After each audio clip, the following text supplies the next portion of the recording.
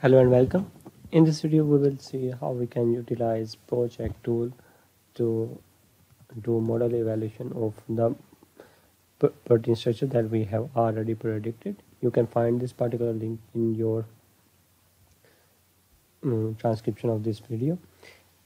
ProCheck is a tool that allows you to, uh, to check the quality of uh, the stereochemical properties of the protein such as uh, torsion angles and um, residue residue geometry. Geometry wise analysis done and then um, residue residue uh, geometry is then compared with the overall geometry of the structure.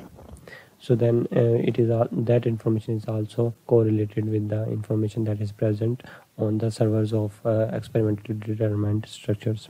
I'm going to select the first model that we have utilized in our previous videos so that we can have a comparison of uh, overall structure later on. So that once that uh, file is completely analyzed uh, what really happens is that the uh, linear wise uh, information is presented and uh, you can then obviously check the structure through your structure which allows you to do it to visualize your structure through online server. And a total of uh, eight evaluations are done either eight or nine based on the factors based on uh,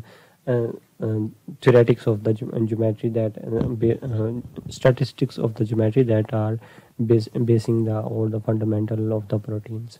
So overall there are two errors two error regions within the protein geometrical error regions and then there are two regions that have warning. Uh, overall five uh, four regions have passed and if you click on result summary you can uh, then find the Ramachandran plot residue values and uh, other residue values that allow you that basically tell you which regions should be more uh, more experimentally investigated further. For example the plus sign actually maintains that you you should you should investigate but uh, the steric sign um, uh, demonstrate that you definitely should try uh, try to ev uh, evaluate these issues further and fix them as you can see and there are max deviation from the mean uh, mean are 8 so it, it should be lower uh, below 5 and uh, bad contacts are available within the uh, within the geometric of geometrics of this protein. Bond length angle uh, issues are 15.8 and uh, likewise dihedral angles are provided covalent angles. Covalent bonds and overall uh, the g factors are provided if you look at the uh, top of this uh, you can see the Ramachandran plot score the overall core score is 92.8 percent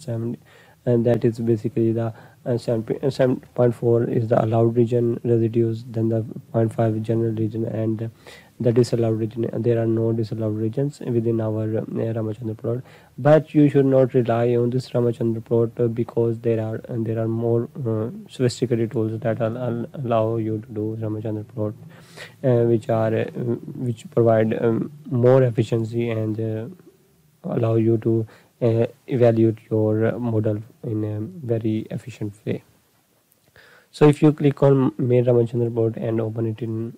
you can open it in new tab or uh, click on the particular link and it will download the pdf and you can uh, see the particular ramachandran plot file that